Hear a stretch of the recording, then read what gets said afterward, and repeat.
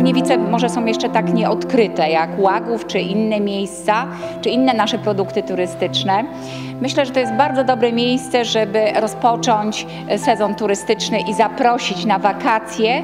Odpoczywaj w regionie lubuskim. Nie wylecimy w tym roku poza granicę, tak jak to było do tej pory. Niestety pandemia wciąż jest obecna globalnie, również w Polsce. A tutaj jesteśmy bezpieczni, mało jest zakażeń w regionie, a mamy też bardzo dużo do pokazania. Lubniewice warte zachodu, bo jesteśmy w lubuskim wartym zachodu.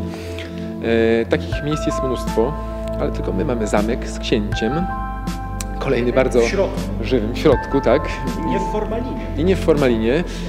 Natomiast y, taki inny bardzo ważny element, y, Lubniewice są naturalne, są kameralne. Ja, prawdę mówiąc, nie chcę tutaj efektu y, show turystycznego, ponieważ my mamy dużo miejsca, aby kameralnie móc się odnaleźć y, w tych warunkach y, pięknych y, przyrody. Prawie 500 hektarów jezior, 67% zalesienia gminy, mnóstwo zabytków w postaci pałaców, w tym tego tutaj najważniejszego.